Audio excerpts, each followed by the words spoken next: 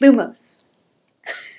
For those of you who love Harry Potter just as much as I do, comment down below and let me know how much you just loved that. So if you guys are wondering what the heck I just did, I just got a new lighting unit for my studio and it's amazing. It is the Godox SL60W and if you want to see a review on that, make sure to give this video a thumbs up and when we hit 50 likes, I will make a review tutorial on how amazing this video light is. For just like $150, this thing totally transformed my lighting, my studio, and my video production work. I bought it in combination with a softbox to really soften up that light and make it look natural like there's a window right here. However, it's just a big freaking softbox. So if you guys want to know more about the Godox SL60W, this is the studio version with the plug. Make sure to give this video a thumbs up. Alright, enough about the SL60W. Today we are talking about the Godox V1. So many of you have asked me my opinions on this flash and I'm so excited to finally get to review it for you. For those of you who are new here, my name is Moorea with Moorea Thill Photography. I'm a professional photographer and videographer based in Maui, Hawaii. For the best advice on how to build and grow your photography business, as well as a ton of off-camera flash education, make sure to subscribe and hit that bell so you're notified every single Wednesday when I make a new video. So the Godox V1. I just got one on Amazon the other day. Um, so I'm really excited to show you all the things that are just phenomenal about this flash. This is probably one of the best speed lights I have ever owned. Um, I'm really stoked on it. Godox is probably my favorite brand if you haven't figured that out yet. And I'm excited to show you guys some of the pictures I've been taking with this thing. It's pretty freaking dope. So one thing that I was nervous about getting the V1 was to see if my MagGrips were compatible with it because it has a sphere head. As you can see, I got it on perfectly. One thing to note is it was a little challenging to get on, so one of the tricks that I like to use is to put a blow dryer on the MagGrip to make it a little bit warm and then it's easily stretchable at that point so you just stretch it right over the Godox V1. This flash is the successor to the Godox V860II, also known as the Flashpoint R2. It has a round head which allows you to have a flash that's a little bit more balanced and evenly distributed. And one of the main reasons why I like this speedlight is because it's very similar to the Profoto A1 or the A1X but at a fraction of the cost. I think I paid around $260 US for this flash and it has high speed sync. It also can act as a trigger and one of the best features that makes me like this flash so much is that if I turn it on, it has a steady light so I can test when I'm doing off-camera flash how the light is going to fall on my subject. But this allows you to set it up, test it on your subject. You can dim it all the way down to a level 1 or crank it up to a level 10. Um, this little dial also flows really nicely. I know that's not the most important thing, but it does go really smooth. And then to turn it off, I just turn it off like this. Or I can actually keep the light on my subject and then when I'm ready to use the flash it will just fire all at the same time. It's pretty incredible. One of the other things that you guys know from my videos about the Godox AD200 is that I love lithium ion batteries for my flashes. So I'm sure you guessed it. Yes, the Godox V1 uses the lithium ion battery. It's kind of unique in the way where it just kind of slides through and then the battery slot is actually hollow, but this little guy goes on the Godox charger, and then I just pop it right back in.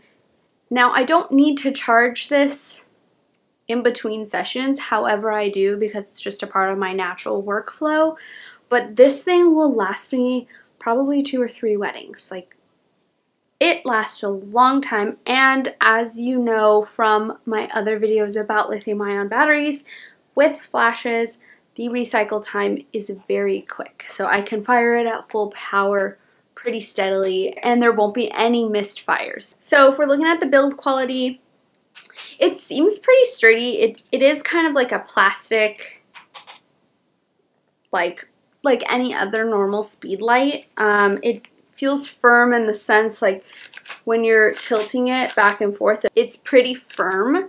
So if I add my modifiers on top of here, it's not to like fall down because it can't hold that much weight. Uh, one thing that a lot of people also really like about the Godox is let's say it's on our camera like this and we want to bounce it this way back into the wall behind us or up and behind us, it can actually bend backwards, which is just convenient. Another thing about this speed light that I love is that it has one of those new locking hot shoes. So my other speed lights you used to have to twist to lock the hot shoe, but this one just has the fancy little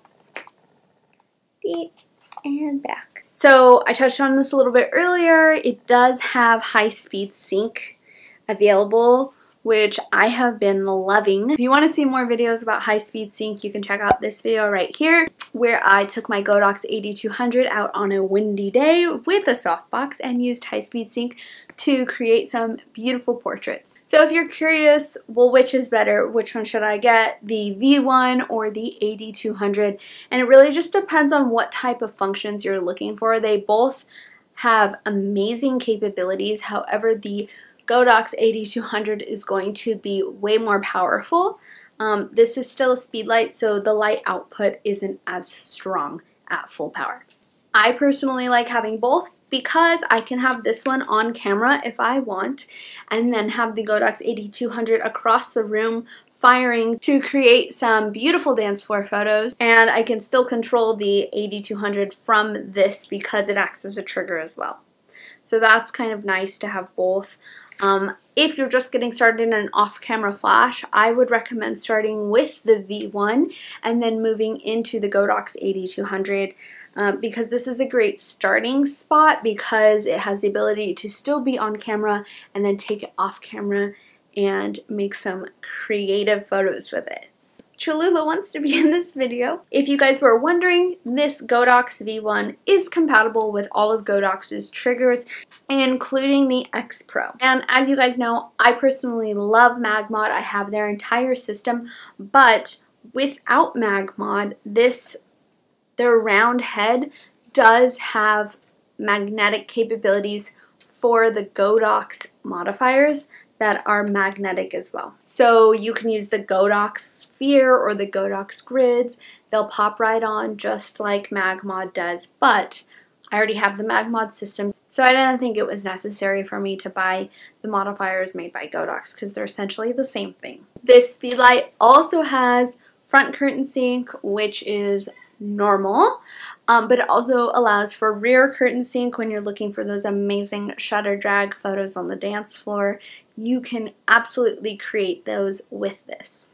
Right out of the box, you guys get the Godox V1, the lithium ion battery, the charger, the flash stand, a little protection bag for traveling, and an instruction manual. It is compatible to be used for TTL as well. However, I don't really recommend it. TTL is great for understanding Flash and getting to know it, but I've always been a fan of just using manual all the way. Just start with manual, get to know it, understand your Flash, and go from there. So the power output on this unit is 76 watts per second. Because it's a speed light, it does have the ability to zoom, so it can go from 28 millimeters to 105, depending on what you're looking for.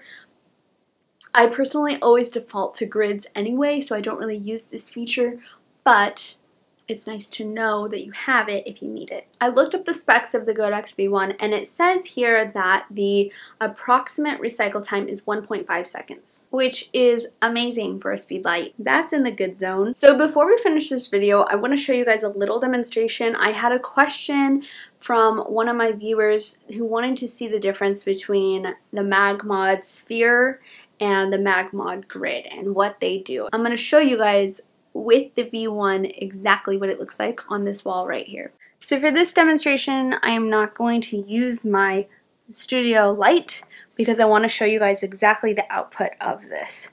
I have on the LED.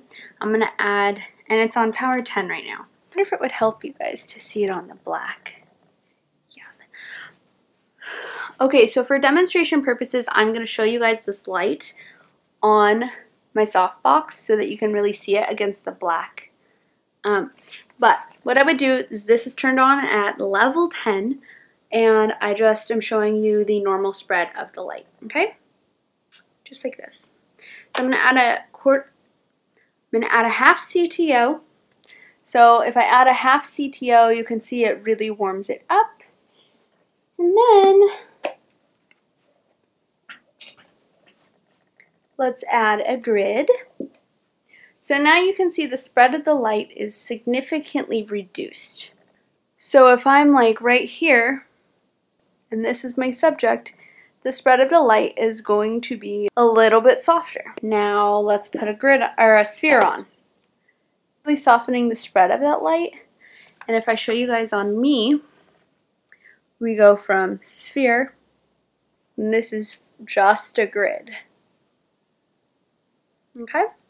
Now sphere and grid and half CTO. This is why I typically use this combo together. I like the way that the sphere and the grid looks all together. My neighbor's dog. Look at my little babies. Hmm. Hey, hey, hey. No. The reason why this looks so honeycomb-like is because this isn't an actual flash. This is just an LED. So if I take these off, you can see right here is the light source. So it's just a tiny little LED right there. So when you fire this flash all the way, it's coming from the entire flash, not just the little tiny LED. But it still really helps so that you can see before you fire the flash where the shadows are going to fall. So like if I have a hair light or a fill flash or really dramatic. You can do a lot with this flash. Anyway, I hope you guys found this video helpful. If so, make sure to give it a thumbs up and leave me any comments down below on the questions that you might have about the Godox V1. I know that this flash is not going to necessarily replace my AD200, but it is going to be a wedding staple for me. I always bring speed lights to weddings, especially for reception dance floor photos. Um, so this will definitely replace all my old speed lights, like my newer ones that were just kind of cheap and crappy flashes, to be honest, anyway. And Lulu wants to say hi before we finish the video. say hi, baby. No, don't, don't do that to the mic.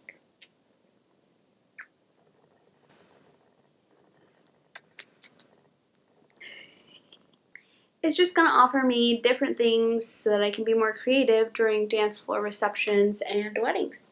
Now, before you guys go, I want you to make sure that you check out the links down in the description because I do have a free off-camera flash settings guide and it goes over sunrise, sunset, and backlit flash. Basically telling you guys what my settings are at, where I start, and then how I move from there. So every single situation is going to be different. It's free, it's in the description below. And after that, if you want, I do offer an off-camera flash toolkit where I go over all my different settings for different types of scenarios with off-camera flash. And there's a couple private videos in there where we talk about MagMod, we talk about how I set up my off-camera flash. There's so many amazing good content in that toolkit and a couple contests. If you guys are interested, the link is below. I also have a link to my free off-camera flash Facebook community where we talk all things photography, but they also get first access to my YouTube videos so that you know exactly when they drop every single Wednesday. If you haven't already, make sure to subscribe and hit that bell so you're notified when I make a new video. Thank you for watching. I'll see you next Wednesday.